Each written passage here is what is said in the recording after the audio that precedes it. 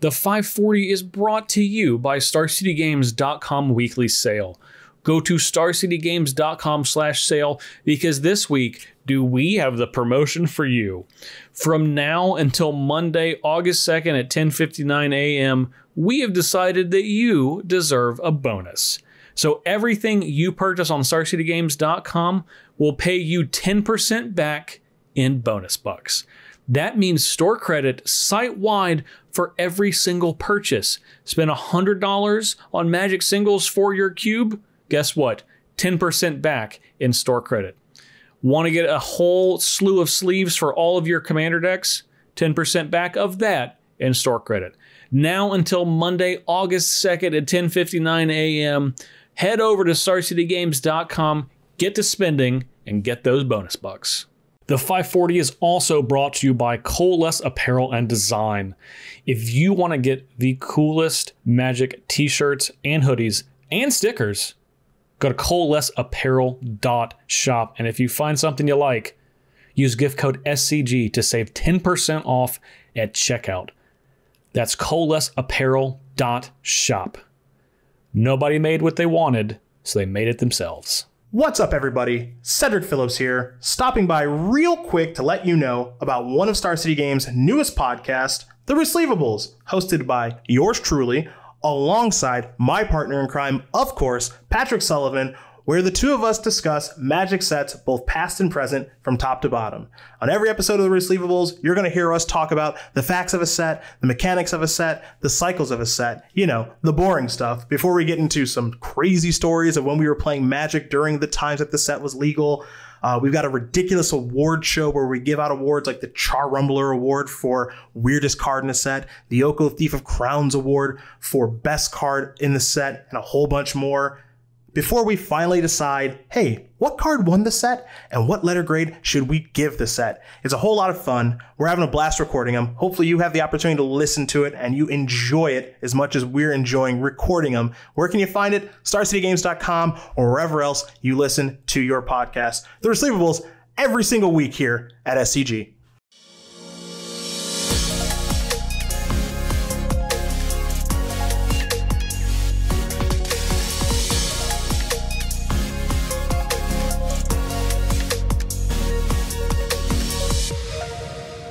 Welcome back, everyone, to the 540, where we are talking about drafting cubes, just like we did last week. We were talking about finding your lane last week, and this week we are talking about how to make your draft work once you have found that lane. I am Justin Parnell. You can find me at jparnell1 on Twitter, and of course, my co-host with the mo host just just go with it. It's fine. I, I am Ryan Overturf, and yeah, I'm just here to go with it.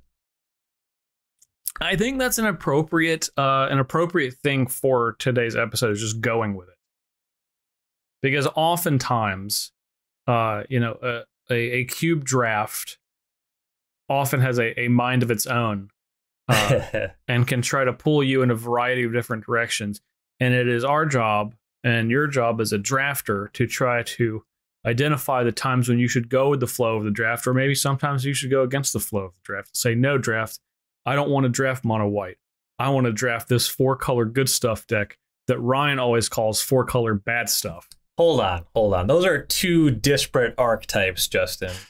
Look, four color bad stuff is actually the kind of draft that you will end up in if you don't heed the advice of the podcast what we are trying to convey is the information that will allow you to draft a coherent deck, be it mono white aggro or be it four color good stuff. And I think that's actually where I see the most lopsided matches in cubes, even in powered cubes. There is some stuff like Sol Ring, obviously Black Lotus, blah blah blah, Oko that can take over a game with single cards, but if the game lasts five or six turns, where you see the most disparity and where one deck is the most favored over the other is because that deck has a coherent plan. It's a deck.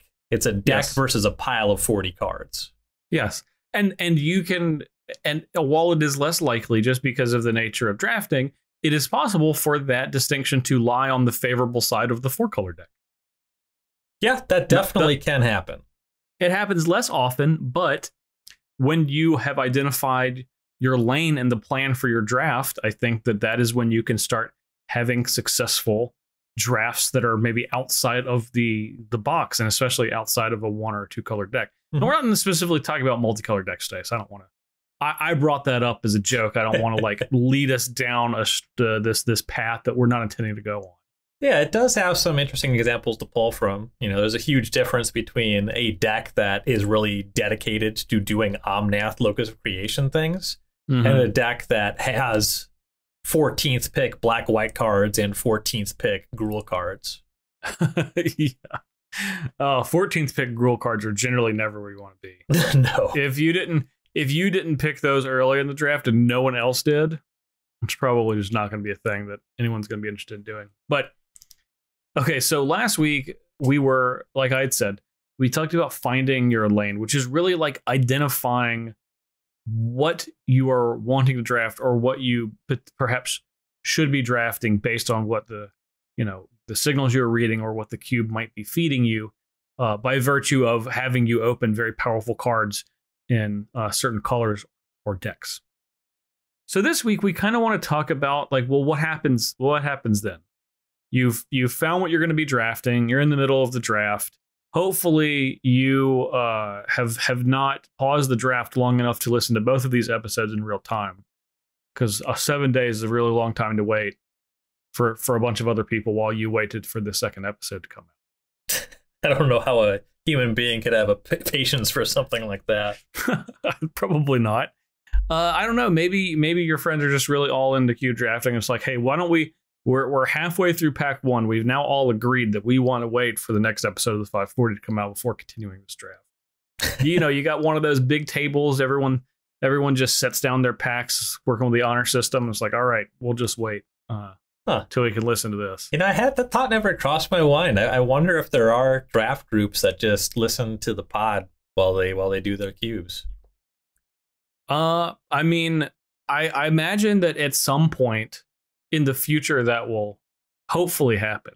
I get told all the time, like uh, a lot, that people play Commander while like having Commander versus on in the background. That happens a lot. I hear about that very frequently. So I don't see why not. I don't see why you wouldn't listen to the 540 while you're cubing. Yeah, I'm gonna start doing it. Yeah, no, it's way more weird for you. Uh, unless fair. you're like, unless you're like, God, this this there's this this advice is just terrible. We just say the worst shit on the podcast. Don't listen to any of this. yeah, it's uh, just a way to uh, grief the players, let them know who runs things. Kind of like how when I started running Spooky Cube drafts, I would play the Monster Mash on repeat. Oh God just on repeat? Well, How long is that song? I would do that when uh, one match was still going and everyone else was done. I would just sit next to them, turn my phone on full volume, and play the Monster Mash. Oh God, yeah, that's rough. That's that's a that's a tough go of it. It was a good bit. Yeah. Okay. So, Monster Mash aside, uh, listening to the podcast aside, which is pretty much you know that's that's really all that we had to talk about today. So we're just going to wing it for the rest of the way. now, uh, okay. So one thing that is is is going to be very important is is when you are sitting down to draft, or maybe when you're in the the midst of the early parts of the draft. How can you identify the metagame of the draft? Because there's a lot of different factors that go into this. It's not just well, what does the what does the cube what does the cube look like because this is the kind of questions you could ask yourself when you are doing any sort of draft. Doing if you're doing like an Adventures in the Forgotten Realm draft, mm-hmm. uh, you know, you're roughly all of the cards are going to have the same amount of colors, and there's going to be the same, you know, everything is going to be evenly distributed. But there's often there's like kind of bigger questions that you can ask that have an impact on the draft that is the overall metagame of the event that you're playing. Definitely. And that was actually a pretty big disparity when I was writing about modern a lot and playing modern a lot. The way that the average player talks about metagame, they tend to mean the literal decks I'm going to play against. When they yeah. want to play at their LGS, they say, What's the meta like? And they're asking do I need sideboard cards for burn specifically? Where when like I approach a modern tournament, I am making sure I have efficient tools for a broad range of things. The metagame that is the modern format, broadly speaking. And for cube metagames, a little bit closer to that is what you're looking for. You're asking yourself, what are the absolute most powerful cards? On what turn do I have to really have my engine going so I'm not left in the dust by the kind of decks I expect to play against? How much interaction is in the cube? That's a big metagame factor. You know, if I'm trying to be, play a beatdown deck and there's a ton of one for one removal, if that's what the metagame is, then I know that my beatdown deck has to be able to make up that value or try to be able to fight over these one for ones. Or if the situation is the metagame is heavy on sweepers, anger of the gods, wrath of God, so my aggressive deck to compete then has to have planeswalkers or indestructible creatures or, or things of that nature, or it impacts the way I want to play my deck. And decks that play differently will certainly value things differently in the draft because you generally want different cards. So it's all the things that you expect to happen over a sample of games if you were to draft that deck and play enough in the cube. Yeah, and or really any deck. I think a, good thing that you said is like, you know, is this a cube where when I draft something, I get to kind of do the thing that I'm trying to do? Does everyone get to do the thing that they're trying to do? Because it's a lot of cards that are uh maybe I don't want to say like light on interaction, but the point the goal of the cube is to let people kind of like build their machines and then ram them into each other to see which one is stronger rather than uh trying to do this delicate dance of threat and removal threat and removal until somebody runs out of cards. Hmm. And I, those are two very different type of cubes that I've I've played as I'm sure a lot of people that have played multiple different kind of cubes you have probably played both and uh, you know on either end of the spectrum and a lot in between. Yeah, definitely. And the amount of interaction in a cube, that's going to impact what a control deck looks like if you expect to play against a control deck at all. Um, one of the cubes I played against recently was my friend literally calls it the solitaire tubert. And Yeah. you're, you're just not going to draft a control deck. It's just not going to happen. So when you draft, you're not really making hedges expecting to play against that. And you're certainly not drafting as if that's what you're going to build. Yeah, I think another good example of that. Uh, this is probably the most obvious example is uh, Dave McDarby's "Live the Dream Cube." Mhm. That I mean, you're it's literally in the title, right? You're trying to live the dream by doing this, whatever this thing is, uh, and most people are trying to do whatever their thing is in the draft. And the the most cohesive game plan often wins, rather than uh, the most points of interaction. Yes. Yeah. So some interaction is good, um, but it typically is stapled on to something that advances your game plan. Um, in that cube, and also in McDarby's chromatic cube on Magic Arena, the the five the mana drain adjacent card. What's what's spell swindle? I think it is the five mana counter spell, where you get yeah, treasures. treasures. That Yeah. card is like one of the best points of interaction in that cube because it stifles the opponent and gives you the mana to go off yourself. Yeah, it doesn't matter. Yeah, for that cube, look, mana drain might cost five, but it's still mana drain at the end of the day. Mm-hmm. Yeah. uh, so for for drafting, uh, you when when you're when you are trying to identify the metagame, that is something that can be difficult if you have not, I guess, experienced a cube before. Uh, that that's that's something that is very tricky if it's the first time that you are drafting a singular cube because you unless you have like you know looked over the list or talked to the cube designer you're kind of going to be feeling things out in the middle of the cube. And sometimes you can do that but i would imagine uh, the people that have a lot of experience doing that are kind of kind of go by their own experience uh, and it's going to be very format dependent because you know if you have a friend that has a cube or maybe you just draft you know a certain online cube very frequently you're going to know what that is but uh, or you're going to know kind of what to expect in that scenario but in a lot of other times when you're drafting a new cube that's incredibly difficult Yep. And just knowing a lot of historically powerful cards or the general cube staples, uh, having a good idea what those cards are, be the nuts and bolts stuff, Ponder, Lightning Bolt, Thoughtseize, Llanowar Elves, just cards that you would really play in any deck. Thraben Inspector, I suppose I should name a white one, just just cards that are generally going to make decks of those colors or the high impact ones. You know, usually if Wrath of God's in a cube, it's probably pretty good. Your Sublime Epiphanies, got to shout out Sublime Epiphany. yeah. you, you can't go too wrong drafting cards of that nature. Yeah. Where you're going to really struggle if you've never seen a cube before is if you've never heard of a cube like it. Um, I, I Yeah. think that might, might I've drafted that solitaire cube twice, and those are some of the worst decks I've ever drafted in any environment in my life. sure.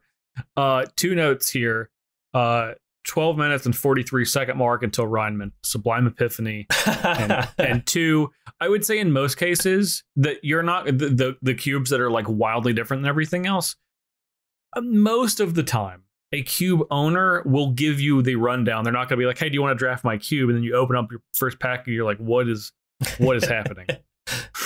I don't know what I'm supposed to be Yeah. doing. Do you want me So- to beat you at this game I invented for an hour or two? exactly. Um, but that you know, you you bring up uh you bring up a tubert as you know, uh I, I don't I don't even keep count on on saying the word tubert anymore. Um, for when that happens in the podcast, but you know, a lot of a lot of what we were talking about last week was I would say primarily like six to eight person drafts. Um, and I would say we, I, most of the advice that I was giving, I was really thinking about as more of an eight person draft than anything else. But you know, we do realize there are two person drafts, there's four person drafts, there's six person drafts, there's ten person drafts, twelve person drafts. Mhm. I have done I have done a number of each of those. So that is a that is a huge, massive, massive identifying uh, factor for what the metagame of the cube is ultimately going to be, because when you have a smaller number of people, well, let me try to approach this from a different thing. I was going to say smaller number of people, but when you have a cube that is designed to fit a larger number of people. So let's say you have a 540 card cube, uh, as is the name of the show, the only true size for a cube, as everyone would tell you. Uh, you have a 540 card cube, but you're only drafting with with four people total. It is going to be more difficult to pull off uh, more specific archetypes, and they're going to be kind of general good cards. And in in those type situations, drafting the best cards, which is the thing that I outlined uh, last week more heavily, is something that is going to give you the most success by a pretty significant margin, Mhm.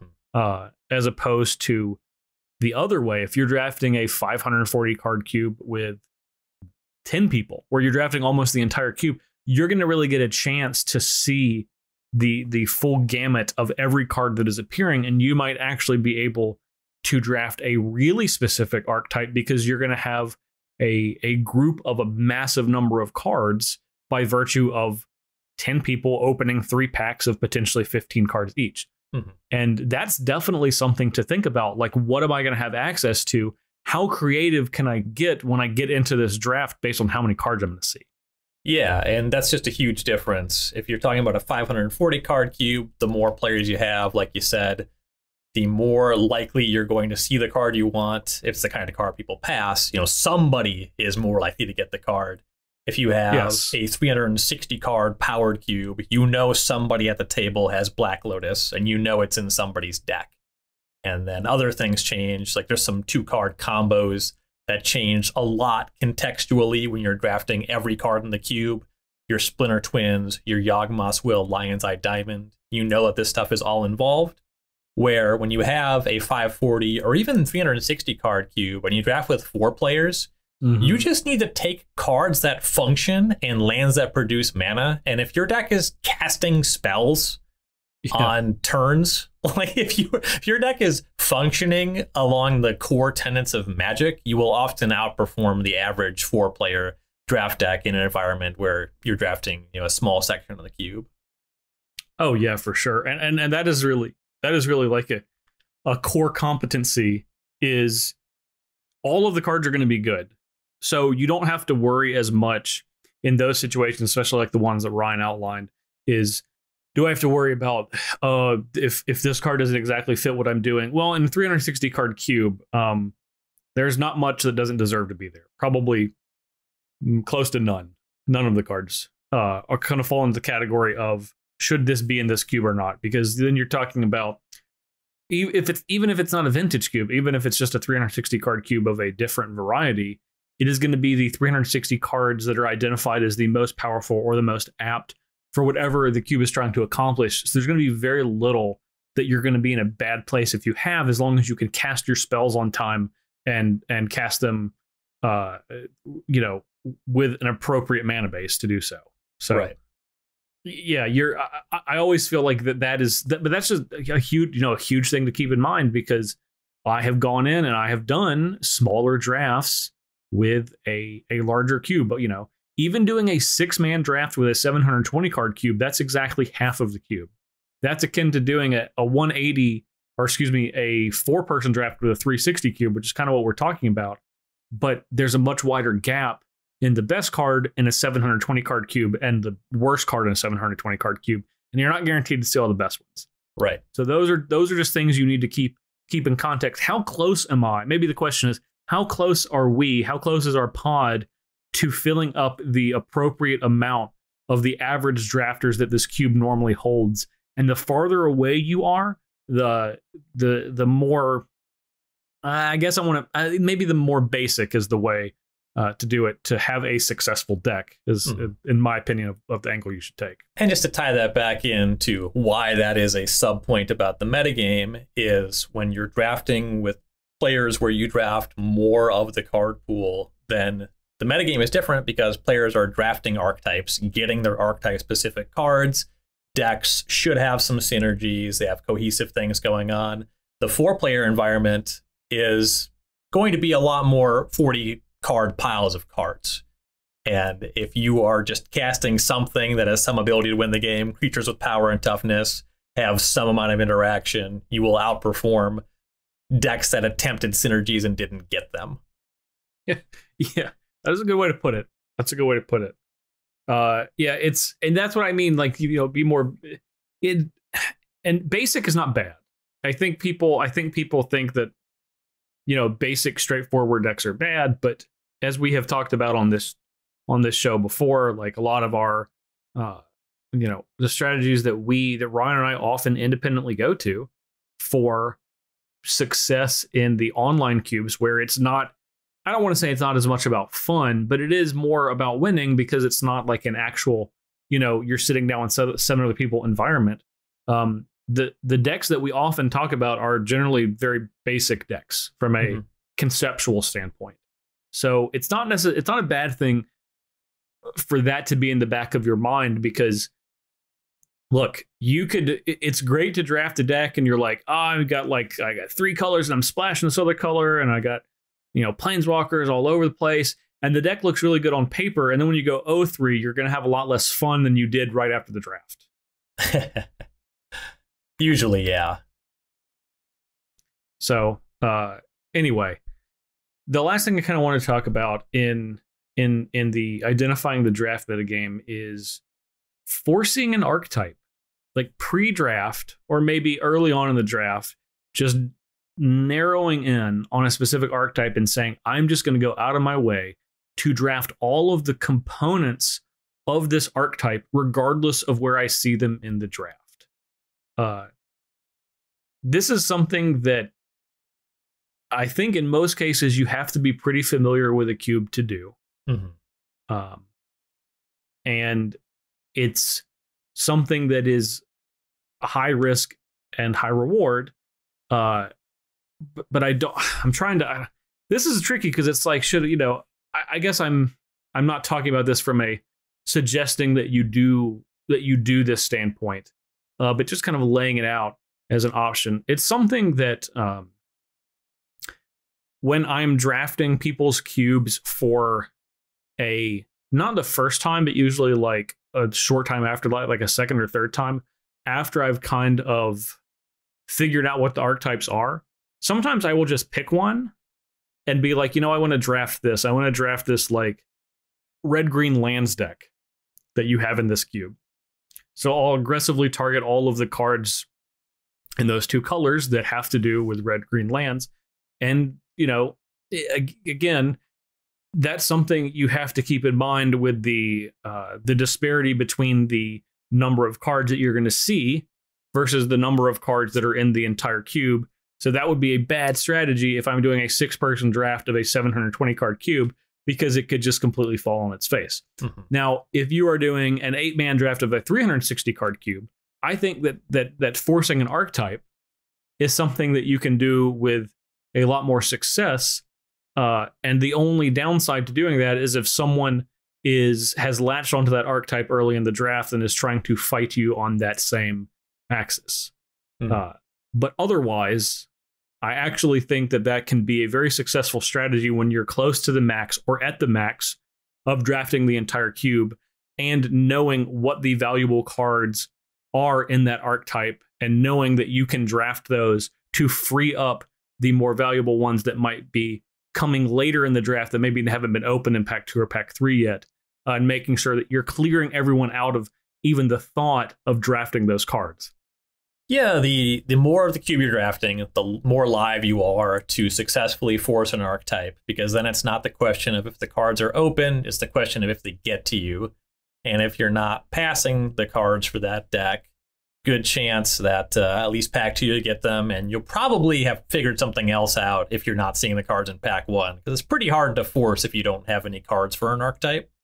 Um, so drafting more of the cube, making sure you actually get the pack, the pick two, three, four, five, six cards for the archetype. And then another thing about forcing, I imagine that I have force archetypes a bit more than you. Uh, it's certainly based off of our discussion last week.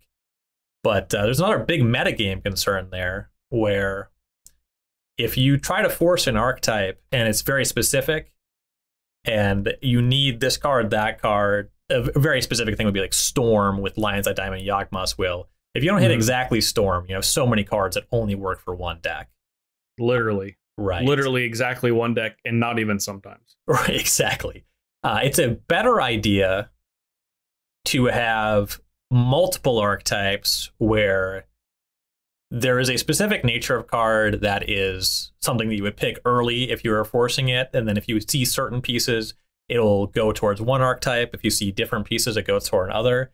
The example I'm thinking of in the Magic Online Vintage Cube, two decks I really like, and I've tweeted some of this over the weekend. I like Sultai Playables, which is just one mana mana creatures, three mana stuff like Leovold, Oko, Ashiok, Grist is a big addition for that deck.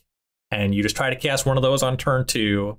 You have cards like Tireless Tracker, and then you have some four and five mana stuff. It's typically interactive. Your Vensers, maybe you get like a counterspell, Thoughtseize. And it's just good Sultai cards. But you're also really highly picking cards like Noble Hierarch, Birds of Paradise, because they're what make the deck work. And if you pack one, pick one, scoop up a Mana Dork, and then pack one, pick two, you get past like a Gaea's Cradle or a Fellows, then you're also open to forcing another of my favorite archetypes, which is just the mono green ramp deck, ideally looking for Craterhoof Behemoth. So finding overlapping cards you can pick early that you know that you're going to want for multiple archetypes, and then keeping an eye out for the win conditions or the uh, other cards that actually push you into one of the specific archetypes in the lane that you're forcing yourself into. Now you were like you said "Uh, I think I probably draft uh, you know force more archetypes than you and that's true. I just want to call back to last week when you're like, you know, if I end up with a, you know, a goblin guide and a ponder, I might just play that. Um I feel like that that's something that happens quite frequently. Again, you're you're you're you're you called out the goblin guide and ponder deck as something that was like a wild hair that you're like, yeah, every once in a while I'd treat myself.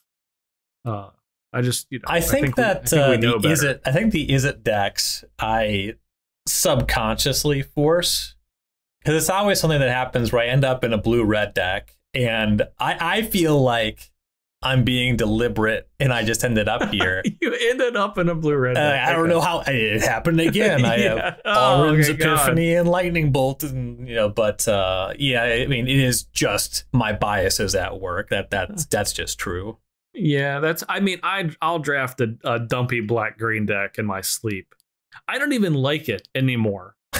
It's like now it's like one of my when I end up and I'm like, ah, God. I was like, I liked all these cards individually, but this deck is just like the average mana cost is like three point six.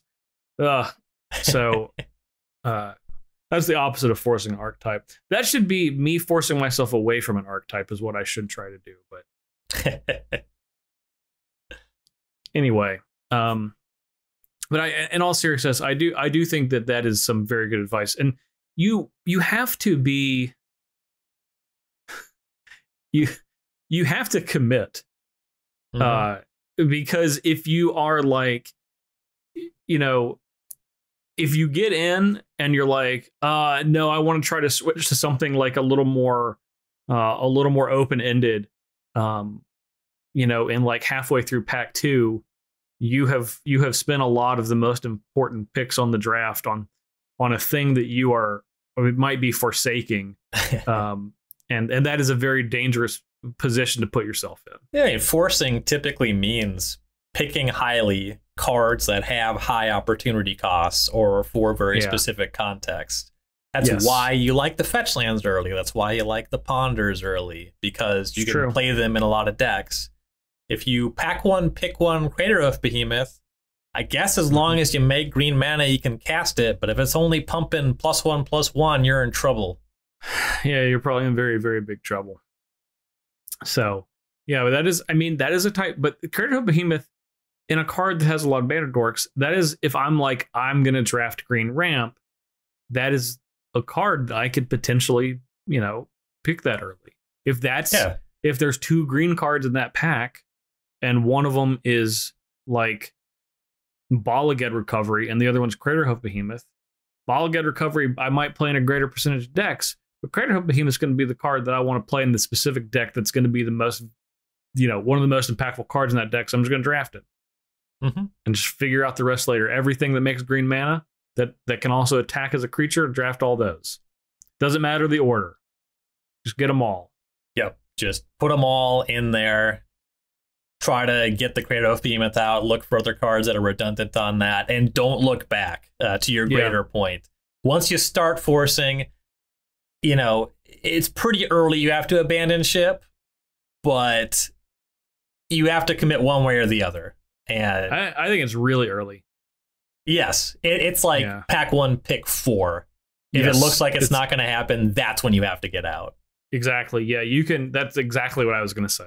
I think you can like throw away your first three picks, which is not a great position to be in, but it's you know you can still put you can still put together a competent deck. Sure, it's cube. All of the cards are good, but uh, you know the first three picks, as I talked about last week, regardless. And this is the regardless of you know the size of the cube or how many other drafters there are. The first three picks are going to be, you know, three of the most valuable picks. That's going to define the rest of your draft. So you have to be really careful when you're when you're trying to force and you're like, ah, this isn't going to work. Uh, you got to, I don't know, it's tough, tough decision making early in the draft for for deciding when to do that or deciding when you have this when you don't want to do that anymore. the worst drafts that you will ever have. I'll, I'll call them will they, won't they drafts. If you start forcing, then you take a step back because, oh, I don't think that the two mana mana creature is the best thing for the deck, so I'm going to take this other card and try to stay open. But then you jump back and forth between taking a card that's specifically good in the deck that your pack one pick one would have forced or something to stay flexible. You're just going to have two decks, one of which is a bunch of specific stuff that you didn't get because you were moving in and staying open. And the other one is all the stuff to stay open. It doesn't do anything. Yeah, at the end of the draft, you'll look like you have like two bad sealed pulls. that generally doesn't work out. So, broad point there. One way or the other, you got to commit. Yeah, I have to commit. That's true. All right. Uh, I think it is time for our first commercial break, as we are required by law to do. And by law, I mean Cedric. So uh, we're going to take a quick break and be back in just a minute. Listen up, gamers. I have some huge news. If you haven't heard, the SCG Tour Online is back, and we're giving away cash prizes, tens of thousands of MTG Arena gems, MTG Arena qualifier weekend invitations, MTG Arena championship invitations, and the big one, Star City Games invitational invitations. You heard that right. The invitational is back. And that's going to be at SCGCon. SCGCon is back, taking place Halloween weekend. That's October 29th through the 31st in the Star City. That's Roanoke, Virginia. And you can qualify for the Star City Games invitational via the SCG Tour online. Stay tuned for more details on that. Those will be coming soon. And for more information on the SCG Tour online, head over to scgtouronline.starcitygames.com. Now back to the pod.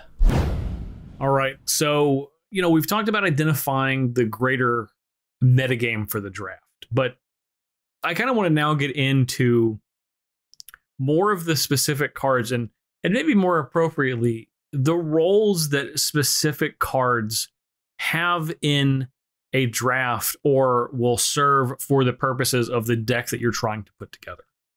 Sure. Yeah, I think that a really big point on that line, once you have the metagame identified, there's usually one kind of card for every deck that you'll take as much of as you can get for for blue decks in most formats, that's often going to be well, blue is not really fair because there's a lot. There's like cantrips, yeah. counter spells. You'll you'll play all those you can get. But the big thing is your blue deck. You're going to sabotage yourself if you draft too many win conditions. Whereas yeah. for your red and white aggressive decks, they're going to take as many one mana creatures with power and toughness as they can get. Mm-hmm. Yeah. Uh, I think that you can probably look. Okay, so I'm gonna go, I'm gonna go back in the Wayback Machine to 20 episodes ago. Uh, you had talked about putting together one of your tuberts where you just like put together what like each archetype would kind of each deck would look like if it was like successfully drafting like that archetype within your cube. And I think if you can visualize that and identify, it's like, well, what is the theme that makes this deck as good as it can be? Uh, like you said, for okay, so for uh, controlling blue decks, uh, having as much velocity in like cantrips as you can possibly have, having as much, uh, you know, effective attackers at one and two mana for aggressive decks, having as much as many two for ones or uh, you know, planeswalker type cards for for mid range decks. And and we're you know these are very broad things, but uh, it when it, it breaks down across archetype lines, you can start to identify some specific cards or maybe like specific groups of cards for each of those color combinations or archetypes individually. Right. Uh, one mana mana dorks for the green decks. There's there's just something that you'll basically take as much of as you can get, and you do eventually need to identify the other stuff you need. Um, there's a point where you try to wheel them because once you have three or four of a kind of card, you don't expect anybody else is drafting it. But but early on, the kind of cards that uh, you'll be looking for when you are trying to solidify yourself in a specific archetype are either those massively archetype defining cards like Craterhoof Behemoth, which is night and day for the decks that play it, or just the cards that you will just play as many as you can get for a specific strategy. Mm-hmm. So uh, you have kind of, I think when we were talking uh, prior to the podcast, we are talking about cards that are more flexibles in their roles versus cards that are more rigid in their roles. Yes. Um, so that, that's a big part of going from when you are drafting cards to when you're drafting a deck. You know, pack one, pick one. It is often good, as we discussed at length last week, to take something that's a little bit more flexible that has a high rate of play, as, yes. as you would put it. And you get to a point where you say, okay, I'm reading the signals. I have my fetch lands, or I have my cantrips, and then there's a card that makes me think I want to play a specific kind of deck. You know, even even in your fetch land ponder deck, there's different natures of the blue deck. Maybe you're a tempo deck, maybe you're a controlling deck, maybe you're even with a controlling deck, you could be a permissive deck or you could be a tap out deck. That's a pretty significant distinction for blue decks and high powered cubes. And it's decision time because you run into a pick that's between something like Jace Vryn's Prodigy that uses some mana on your turn. Maybe Jace the Mind Sculptor is actually a better example of what I'm Yeah. describing.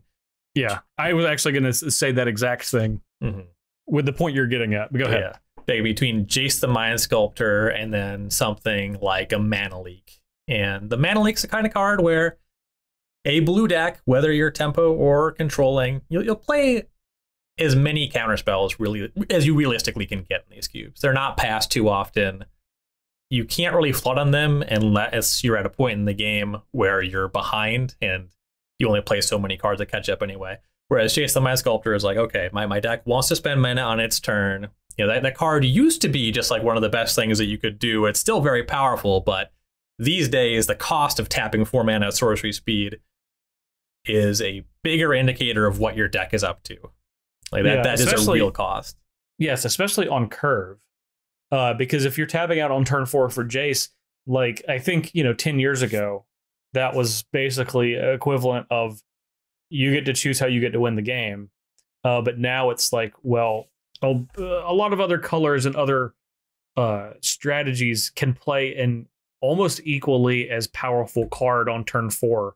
So if you are willing to commit your Jace to the board and say, I don't care what you play, uh, you know, you have to be able to, I guess you have to be able to live with that decision from a, a deck perspective. Mhm. And uh, so it's generally better to continue down that path of saying, well, if, if my plan is to play Jace on turn four, then I should probably tap out and play something on turn five and also on turn six, etc. Mhm. Uh, versus trying to be reactive with a more flexible card like a mana leak or a a remand or maybe a lose focus. Oh, there we go. So, uh, but that is, I, I, I don't want to oversimplify this, but it, I'm going to come back to something that we've talked about maybe more than anything else on that show, on this show. And that is, I think, in most cases, when you look at cards to determine their kind of flexibility, I think a lot of time it truly comes down to how many pips is in a card. that I- definitely matters in a big way. Yeah. Uh, and it's not like that's not a hard and fast rule, but I I think if you lined up all of the cards and you just said these are cards with a single pip of mana, and these are cards or a single pip of color, and these are cards with two pips of color, like you're gonna have a pretty distinct line of like these are the more flexible cards, these are the more uh, rigidly defined or specific cards, and you know, like I said, I don't want to oversimplify it, but I, I think that there is a lot of validity to to looking at it from that perspective of how easy is this to cast if I'm in a two color deck on time, uh, or maybe alongside something later in the game and still be able to cast it. Hmm. That's kind of what it comes down to. I don't know if people prefer recurring examples of a similar nature or like a broader range of things. So I'm going to do a little column A, a little column B on this All right, I love one. it. Let's say that you start your draft with uh, a new big hit from Modern Horizons 2, Ragavan Nimble Pilferer, Mm-hmm. and then your pack two or pack one pick two is Lightning Bolt. So now you have two red cards that are very good in aggressive or controlling decks. And then pack one pick three, you're looking at let's say you're really lucky and your choices are Scalding Tarn, Ponder, Eidolon of the Great Revel Oh boy. this is big time decision point, right? Because Yeah. Eidolon, like you said, is heavy on pips, very rigid card. If you take that, you are mono red aggro. You have good bones for it. Ragavan, Lightning Bolt, great in that deck. However, that's a deck that relies on a high volume of specific cards. So far, so good. You would have pack one, pick one through three, great cards for the deck. But you also have this option of a mana fixer and a card that you're going to play in any deck that can cast it that's not hard to cast. So these are all really inviting options. And at that point, you're basically saying, okay, do I want to be flexible and just try to draft whatever the best Ragavan is deck is? Or do I want to take this opportunity and try to shoot the moon, as it were? Am I going to try to draft the best mono red deck possible? So I want to I, I want to come back to your your point of the comparison between uh, Eidolon versus Ponder versus Scalding Tarn. I believe was your the card the card you had outlined, right? Yep, that's the spread. All right. So when we are drafting, you've identified an archetype. Uh, and this is not necessarily the same as forcing your archetype, but there's going to be times when you see a card in a draft that is the very specific card that you want for your deck to function, but it's not like a maybe it's not one of the best cards in your deck. Uh, which is kind of where I put Eidolon if you're drafting a red deck. I generally think that card is very good, but it's not in like it's often not in the top five cards. Eh, maybe that's not true. Eh, it's probably not in the top three cards, I'll say, if you're drafting a mono red deck. But it is a card that is often uh, a very isolated uh, point in your cube. There's not any other card that's going to do that. I doubt you're going to have Pyrostatic Pillar in your cube, uh, even though that is obviously less pip intensive. Um, but you're like the the way that I have constructed this deck. This card is perfect for this deck. I don't really want to draft this card with my first pick, especially when I could be drafting uh, Scalding Tarn for this deck that I want to turn into a mono red deck. But in those situations, situations, what I have what I have written down, which Ryan uh, Ryan was like, "What are you talking about?" Before the podcast started, I'm calling uh, "Get Your Man," and this is the time that I would just say, "I need to draft this Eidolon because this is going to be important enough to my deck that I don't want to risk passing this because I don't know if this is going to come back around. It might not be as good of a card, and I'm putting air quotes around that, as good of a card as Scalding Tarn. Scalding Tarn is probably going to be quite effective um, in in more decks than you know than Eidolon. Hmm. Uh, but this is the time when you just need to say it doesn't matter if I normally would pick this fifth or sixth. I'm seeing it here. I need to go ahead and get it. And get your man is a term that it's not the term the term that I'm coined, but if you're if you're uh, a fantasy football player, I'm a retired fantasy football player, by the way. Okay, I'm, I'm done. Congratulations. Thank you. Um, uh, but it's something that was is frequently talked about in fantasy football. If you have someone that is on your board, uh, that you have a chance to draft, but it's maybe a little too early, like a little too early for when you were prepared to draft them you're going to try to get them later, but you're not sure if you can get them on the wheel around, just get that player. Just get the player that you wanted to that you wanted to pick for the construction of your team, even if it's too early. And I think that that suggestion can be tied a lot to cube drafting because of the independent singular card nature of the format that we're talking about and the fact that decks are often constructed like in a very specific way on like hinges of of specific cards and sometimes those cards aren't like wide archetype spanning cards like Eidolon. Like that's that card's not going to go in like a ton of different decks. Mm-hmm. So in general, it is going to be a significantly more rigid card compared to the flexibility of all of the other cards that we were talking about in the context here. But yeah. when you are faced with that decision, I think it is it is like critically important to say this is I just need to get this card even in the face of potentially passing up a quote unquote better card And the line that I would draw there is Eidolon is I, I don't think Eidolon is an example of this. I think that the very best mono red aggressive decks may or may not have Eidolon in the Great Revel, and I don't think that it is necessary.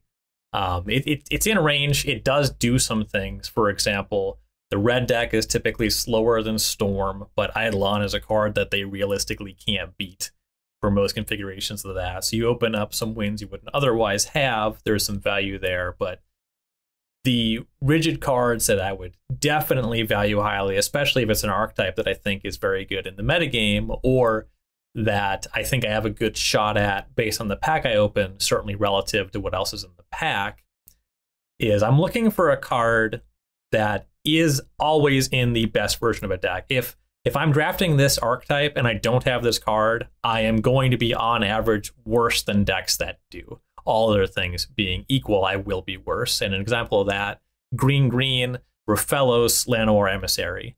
If your mono green deck has that, you're off to the races. Gaea's Cradle, very much the same in that deck, where those are your big mana engines. They're what make you tick. The top end is going to be Craterhoof Behemoth. The perfect storm is you have all of these. Your best green decks will have all of them. But these cards are mostly looking for something very specific. The most rigid of them is Rofellos.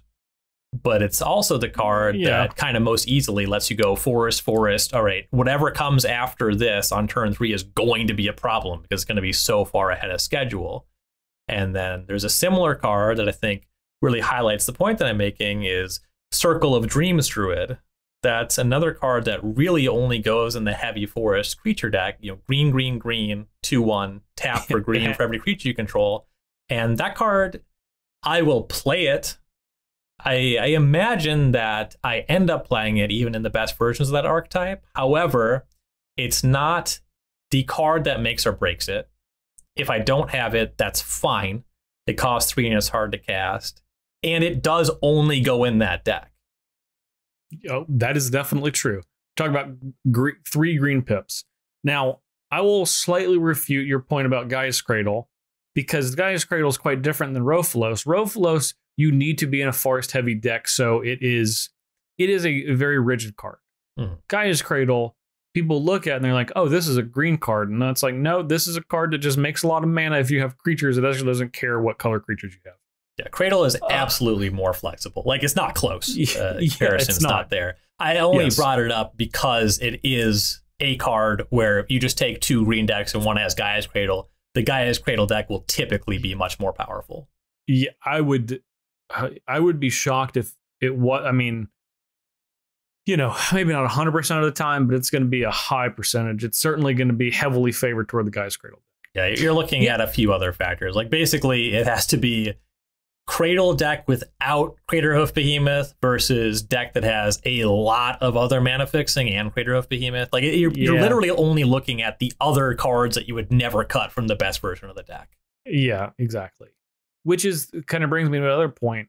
I think Rofellos is the single best card if you don't include Cradle, because Cradle is the best card in most decks that it's in.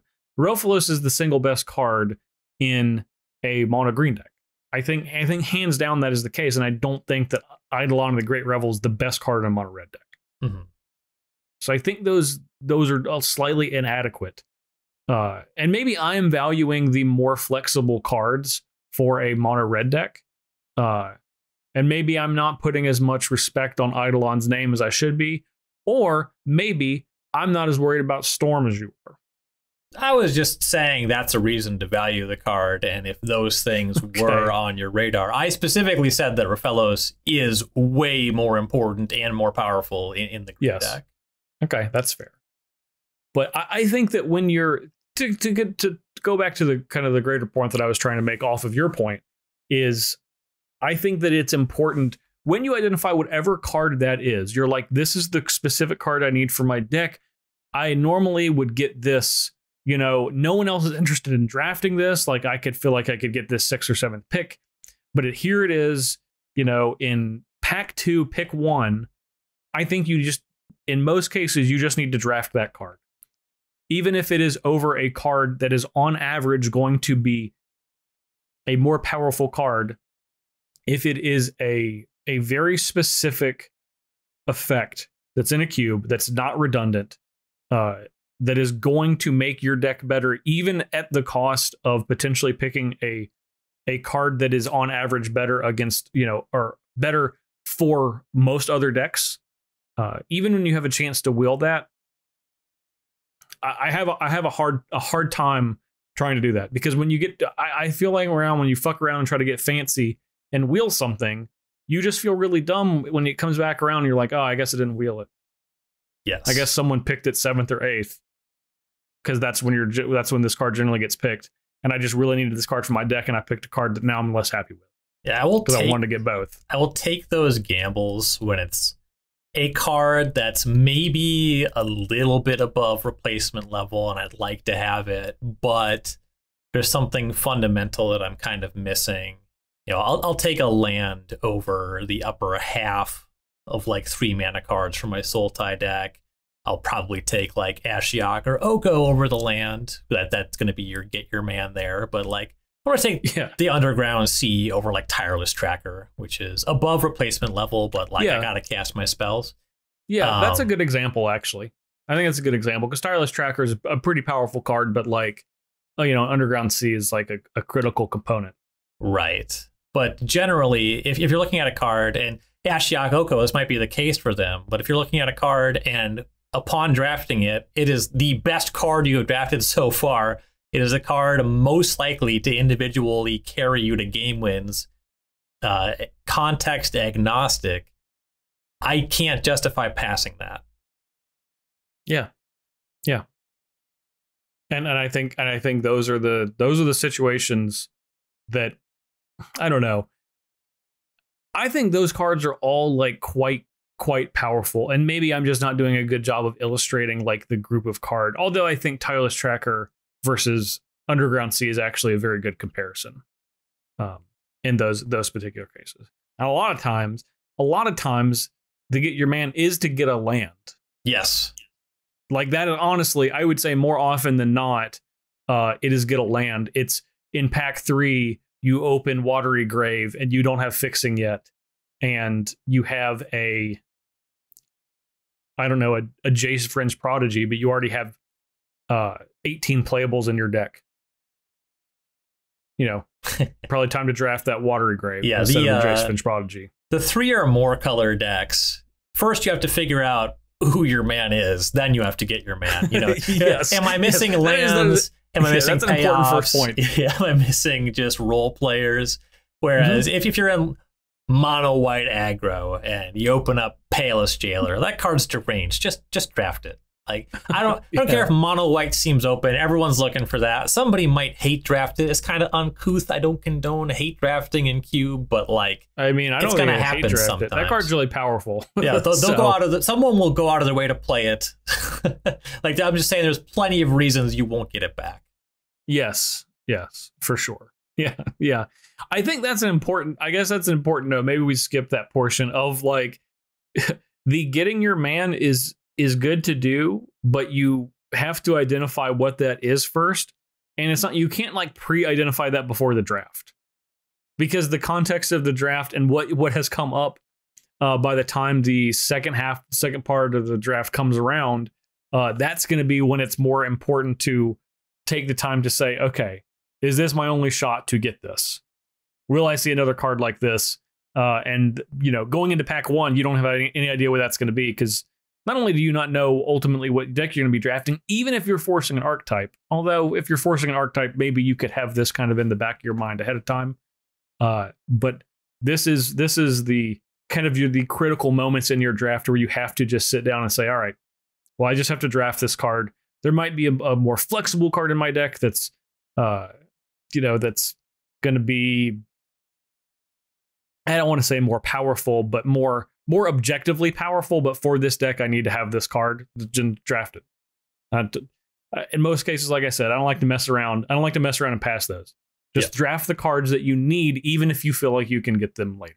The least fun you can have in a game of Magic is when your deck doesn't function, and there's plenty of ways in a cube draft where you can make a pick that makes that your fault. yes. Yeah that's a that's a very bad feeling. Uh and i'll take this point again. As we talked about last week we're all we're touching on lands. And i promise you that that discussion is coming uh very soon but by the time by the time you get through the end of the next month you're going to be sick of us talking about lands so I appreciate your patience in the in the time currently where you're hearing us mention lands and you're thinking, man, these guys are really dumb. They just don't even like to draft lands. No, I promise that we do. uh, we like it so much that we'll be talking about it for multiple episodes. Anyway, uh, okay, so where do we want to go from here? What am, what uh, what are we missing for for kind of uh, identifying specific card roles. I think the last big note to touch on is proactive versus reactive cards and finding the right balance. Mid range decks, oftentimes, eh, this is pretty reductive, but just whatever is on average the most powerful card. Whether your deck wants Kolaghan's Command or some planeswalker. This is a weird example based on the colors of the cards, but like Gideon Ally of Zendikar. You'll you'll take one or the other based off of cast ability, and you'll have some combination of proactive and reactive. You just kind of need your deck to function. But your mm-hmm. aggressive deck, you need enough reaction to ensure that you have meaningful points of interaction against the expected metagame. You know, your mono red aggressive deck is going to want to be able to bolt the bird, for example. You want to try to keep the field clear of opposing planeswalkers that can snowball in value. Whereas your controlling decks, they're going to need some proactive cards, but just a little bit. That's a point I mentioned earlier. You can definitely draft too many win conditions. And in fact, I would say that that is more likely than an aggressive deck having too many reactive cards as a controlling deck having too many of the wrong proactive cards. When they're cheap, it's fine because you get them online quickly there's a chance your opponent's not set up, and then your your Ashiok can run away with the game. Your Oko can run away with the game. But when your hand just has three six drops in it, they got to be really damn good, and you got to get to them on time if they're going to have a meaningful impact on the game. Yeah, yeah, I actually agree with all of that. I don't have any any refuting points for for anything you just said. Got away with one. I was waiting. I was like, I'm gonna, I'm gonna try to get him. when is something. he gonna blow this? No, no, no. I think that is. Uh, I I completely agree with that. I think the most the most frequent thing I see is uh people having a disparity of a certain type of card in their deck and then they just draw them all. Yep. It could be anything. And the biggest the biggest one is like you have too many win conditions in your control deck. It's like, yeah, but all your win conditions cost like four, five, and six, and I've played cards for the first three turns, and you sat there waiting to play your your Gideon Ally of Zendikar, and it's too late. Uh, and I think that that is, and, and Gideon is is one of the cheaper ones, generally for a control deck, mm-hmm. uh, as opposed to something even if like a, you know, like a Elspeth Sun's champion, and you got to just think like you, you you had you're gonna have to compete at all at all phases of the game. So identifying like what the role of your deck is, and I don't want to go into like a you know a limited focused who's the beatdown discussion here, but ultimately uh, knowing what your deck's goal is and the critical points that you're going to need to interact with your compo- with your opponent, or if your interaction is putting the threat in play and making them do something about it. Uh, it's it's very easy to draft too many of too many cards that don't go for that specific goal um, and not enough of the ones that can get you to the point of the game where you're in position to win. Yep. And just boiling it down, the the beatdown deck, your role, get the opponent dead. The control yeah. deck, your role, stay alive. win somehow. Yeah. It is better to have one, maybe two resilient ways to close the game than to have fine, five okay ones. Definitely. Uh, I, I don't think I have anything else to add on this topic, this particular portion of the topic, I guess. Yeah, I think uh, there's some good notes here. Okay. All right. In that case, uh, we're going to take our last break for the ads, and we will be back in just a moment. Have some extra cards laying around that you want to get rid of? Go to starcitygames.com slash sell. It has never been easier to turn your cards into cash, or if you're looking to outfit your cube or commander deck with some new favorites, get a 30% trade in bonus when you choose store credit. No matter what your collection looks like, we have a method for you. Want to see exactly what every card you have is worth? Check out our buy list. Don't have time for that? Stick it on a box. Send it to us, and we'll make you an offer with our ship and sell program. Or if you want a more personal touch, Make your way to the Star City Game Center, Roanoke, Virginia to sit down with a buyer, just like the old days. With the fastest turnaround time in the industry, get an offer in under four days when you go to starcitygames.com slash sell. selling has never been easier. What's up, gamers? Taking a break from the pod here to talk to you about Star City Games Premium. Now, I know many of you are already premium members. That's awesome. You're awesome. Thank you for that. If you are not already enrolled in SCG Premium, we need to talk. You are leaving a value on the table for $7.99 a month you get access to 5% off of Magic Sealed product, 10% off of all Magic singles, 15% off of supplies. Now, I know that I'm talking to a lot of Cube owners here. I know that you're going to buy more sleeves. You know you are going to save this money right back on sleeves alone. So that's reason enough for you to enroll. But I am not done yet, not by a long shot. You also get tons of exclusive content from a fantastic stable of writers. We're talking about Jerry Thompson, Paulo Vitor Dama Rosa, Patrick Sullivan, Autumn Burchett, Brad Nelson, Sheldon Menery, Ross Merriam, Todd Anderson, Shaheen Soorani, Michael Majors, Ryan Saxe, Ari Lax, Dominic Harvey, Cedric Phillips. The list goes on and on. My stuff, you can get that every week for free. You're welcome. But now I am asking a favor. Go ahead, get enrolled for SCG Premium. Go to starcitygames.com slash join hyphen premium. Sign up today and let's get back to the podcast. All right, for the uh, closeout here, this is kind of where we're putting, I guess, the notes that we didn't, that we couldn't cleanly fit into any of the segments on this episode or the last episode. So, Ryan, do you want to start or do you want me to start? I'll start this show, rather, this segment of this episode. Um, the big note I want to touch on when it comes to building a deck and this is just a really good fundamental piece of magic deck building advice.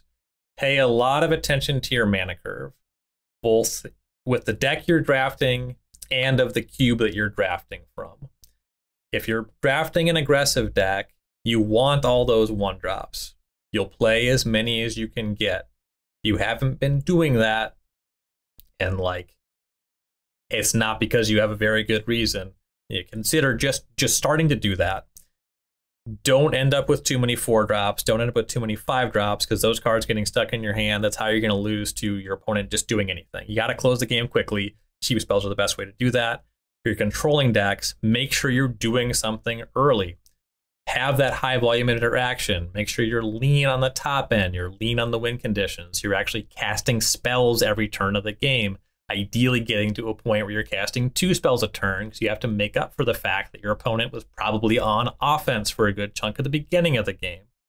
And then a really important note here when it comes to knowing the mana curve of the cube is knowing where the archetype that you're drafting is likely to get glutted.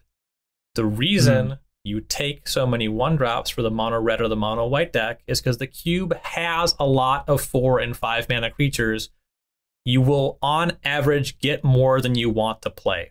You don't need to value them that highly. They are broadly interchangeable. Some of them are better than others. If you don't have any, it'll get to a point, and I think it's probably like late in pack two, where you say, okay, I would like to have a four drop just to make sure I'm doing something meaningful on turn four. That makes sense. But watch out for getting glutted there. Another big spot where the Magic Onlines tend to get glutted five mana spells for the mono green deck. They're they're all the same. I don't care if I have mm-hmm. Elder Gargaroth, Plow Under, Nissa who shakes the world, uh, Primal Command. I, I the important thing is that I only have four or five of them. And the idea is that I cast them on turn three, and it's good to cast a five mana spell on turn three it is bad to have an opening hand with five five mana spells. yeah. Although I will say I think it's a lot better to cast uh, Elder Gargaroth than than Primal Command. Oh yeah, Primal Command. I'm like, it's unfortunate that one came to mind. Deranged Hermit's a much better name. yeah. I actually like try not to draft Primal Command almost at all. Yeah, yeah. Um, no, that's a. I think that's a very good point. Like any any time really just for like the top of your curve. And the top of your curve, I'm putting in air quotes again because that's going to be deck dependent. The top, the top of your curve in in aggro deck could be like three, four drops and one five drop, mm-hmm. which I think is is probably uh, most successful aggressive decks. Kind of are somewhere along those lines.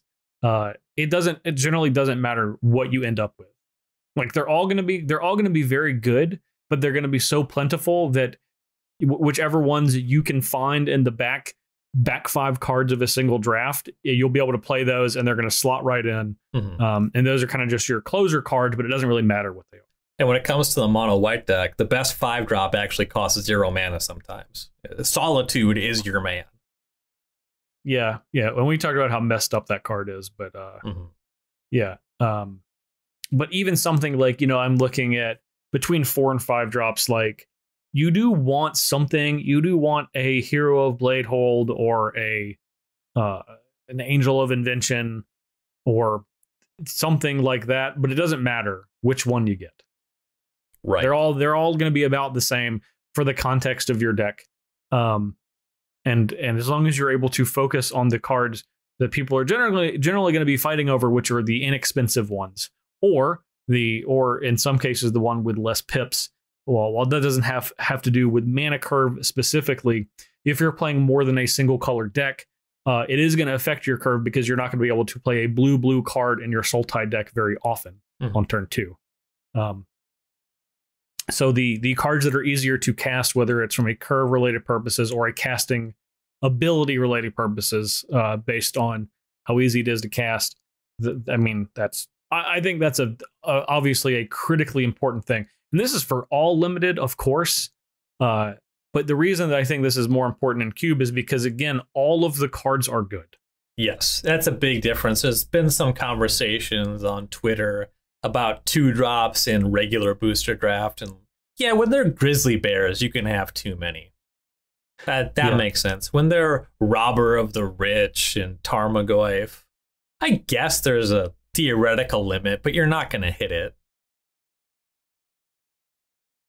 Yeah, usually not. I'm trying to think what a deck would have to look like. You'd have to have all. You'd have to have all two drops and no one drops. Yeah, yeah, yeah, yeah, exactly. You do need It'd the be one something drops. weird. That, Yeah, it'd that's to be something weird like the that. aggressive decks. Yeah, that, that's a, another big difference between traditional limited and, and cube draft. Yeah, yeah, for sure. So yeah, I think uh, I think mana curve is a, a critical component.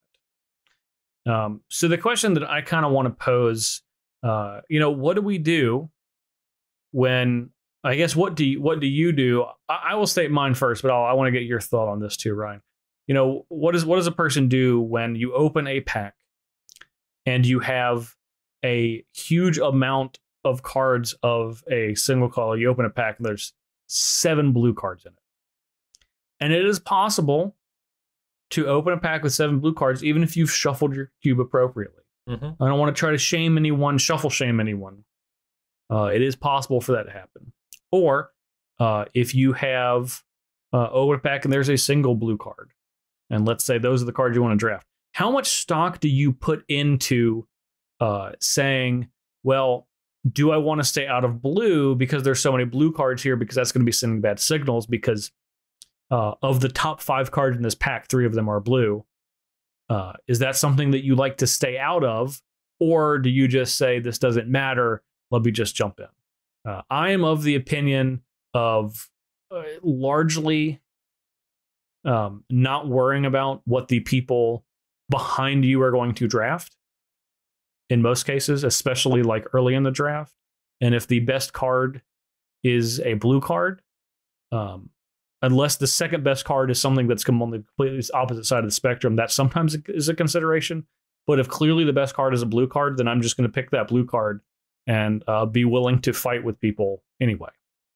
Yeah, I'm I'm right there with you on that best card, second best card consideration, especially if we're talking about a vintage cube, legacy cube, and, and honestly just a lot of cubes where blue's just the best because why wouldn't it be? I go into the draft expecting I'll have to fight you. If there's seven blue cards, there's a reasonable reasonable bet from that pack alone I'm getting two. So I'm Mhm. not in a bad position if that's what's going on. And if the second best card is a lot worse, then why would I draft it? Um, on the other end of the spectrum, I do have a funny story, and this does boil down to uh, a metagame thing, a very specific metagame. But I drafted a vintage cube some years ago, playing with a bunch of locals who are more vintage and legacy players. And one thing you should know about vintage players, it's less true of legacy players now, but it's more true of legacy players than it is of booster draft players. Uh, they're afraid of the combat step. They have like Oh, an, yeah. an allergy, like they wake up in the middle of the night thinking about going to combat and controlling a creature and having to make a decision. That that's not for them. It's not why they play Magic. So I was playing Vintage Cube with a bunch of vintage players, and I opened a pack, and this was an eight-player draft, so a 15 card pack. I had no red cards, but did have a Mutavault, and so Hey, I hey. thought this this is as good as red, and I just hard forced on mono red, and as I expected, none of them touched a single red card, and I just destroyed them in the draft. yeah. I, as someone that is a, I would I would identify myself as a- an eternal, uh, constructed player. Uh, Legacy is my favorite sixty card format. Uh, Vintage is probably my second favorite. Um, that characterization is hundred percent correct. especially especially in vintage especially in vintage uh unless they are unless someone is playing shops and that is like what they've always played th- they're not interested in combat Yeah, i've seen so many even in like even in like eternal weekend vintage where it's like vintage champs i've seen i've, I've literally playing against so many people just being like just not wanting to get these like little chip shots of damage in and i'm like all right. And this stuff adds up. You just want to hold back because you just wanted you're like i'm gonna do my thing. Uh yeah they don't like attacking. It's totally true. So uh, that just comes down to I, I worry a little bit less about what's in the literal pack that I opened than what I expect to happen next. Yeah. Yeah, i agree. And the only reason I- and i think you know this might seem obvious to us but i do think that there are people that open you know you open a pack that has a lot of the same color and it's like i want to avoid that because there's going to be so many people fighting over those so maybe i'll pick something uh maybe i will pick something that is uh looks like it's going to have less competition from the rest of the table. Mhm. and i think that there's a non-zero amount of times that's the correct thing to do but most of the times i'm to take i'm to take the best card if i feel like it's the best card and that i can build a a, a deck around that uh regardless if two or three other drafters are going to try to do a at least think that they're going to do a similar thing The best decks are typically getting two cards for their deck out of more packs than not. So that's another big consideration there. If there's seven blue cards and you're looking at a green card, how many green cards are there? Like, are you Yeah. going to get a card back? And what does it mean if you get this pack back and then you just take one of the worst blue cards when it comes back to you? I, I think if you are likely in that situation, just look over the pack, just actually evaluate evaluate the cards broadly as if the color distribution is not what it is. Just just look at the cards. yes What's the rate of play? How powerful is this card? And just think about that and think about what you think is going to come back. Maybe some other people also get a little wary of trying to draft a blue card. Maybe they move in. You know, you don't necessarily know that. But just kind of think about what cards you're thinking about taking and what's going to come back. And if the answer is you're expecting one of the dumpy blue cards to come back, you may as well take a good one. Yeah. Yeah, because if you take the green card, which is the second best card, but there's no other green cards, you know you're going to be taking on the second way back around? That same dumpy blue card. Yep. So, yeah, I agree. I, I am excited when I open a pack that has a lot because it's like, oh man, I can take the best card here and make sure that I get something on the way back around. Yes. I, Yeah. I, I like I like having that confidence. A guaranteed wheel is so nice. guaranteed real is really good. It's really, really good. I don't care who is taking what in the middle. In fact, I will generally sit down when I open a pack and I'm like, well, what are the what are the eight best cards in this pack?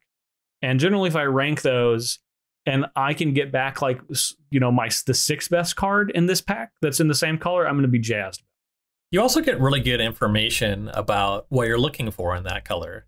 Yeah. The breakdown Yes. it's not just seven blue cards. It's seven blue cards that are for a range of archetypes, or, or maybe Mhm. even all are just broadly good blue cards. But if you know that, then you know that you're getting a second role player, and you can look at the other packs and say, okay, well, what am I going to use this this ponder and that I don't know thirst for knowledge on the way back to sculpt the draws of? Yeah. I I you know, another way I really value these packs is you can get a really, really good read on the draft at that ninth pick. If you just get like five of the blue cards back, Well, I mean, really, you if you if you take a kind of take an inventory of what's in this first pack, um, from a color perspective, if it's like heavily slanted in one direction, you can you can kind of figure out like, well, what are people you know what are people kind of thinking going into the the first part of this draft? And I think it's easier to do that in a really like a high density of a single color pack than it is something that's very even, because then it's just the best cards are going to be taken Mhm. and there's not going to be the disparity of oh i'm trying to draft this specific specific color or stay out of this specific color and you can really get an idea of that when you see a pack that's just got a ton of a single color card so i think i i like when i open those uh and what i uh you know it, it does come around sometimes maybe you open uh seven blue cards but the best card is a green card the actual best card is a green card uh and you know that's that's not bad either. You're not going to necessarily get the wheel, but you still will get a lot of that information. And the last point about the seven blue card pack, if that's where you're starting your draft, you also have a pretty good idea. And I think it's unlikely, but it might happen that a bunch of the blue cards come back on the wheel. But you get a pretty good idea that you're passing to some players in blue. And that means when you identify your second color, you know that there's a good chance you're going to be fighting these players for lands. So Yeah. I think it's it's less important. I think you should make that first pick based largely about abstract power level and what deck you're trying to draft, what you think you can wheel. But then from there, you do want to adjust your pick order. If you take the blue card, there's a good chance that you want to draft lands a little more highly, at least the blue lands, uh, once you figure out what color you want to pair with blue. Yep. Yeah, I totally agree. So that is a that's a good segue to uh, the next couple of weeks. I think that's probably a fair place to end on before we start talking about lands. More land teasers.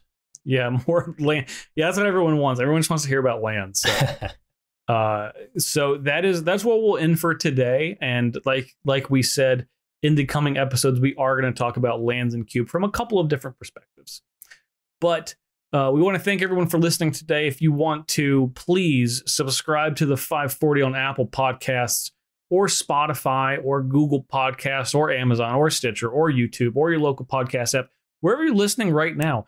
Or maybe you're listening uh, at a cube draft and you're like, I would like to start listening to the 540. They sound like quite pleasant gentlemen to listen to. Well, those are the places you can go on your own time uh, and listen so you don't have to listen in the bottom of somebody's basement.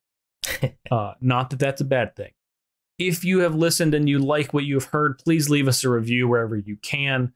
Uh, maybe whether it be a five star review, a short text review, anything helps. Uh, the algorithm is a hungry beast and it likes everything it can get.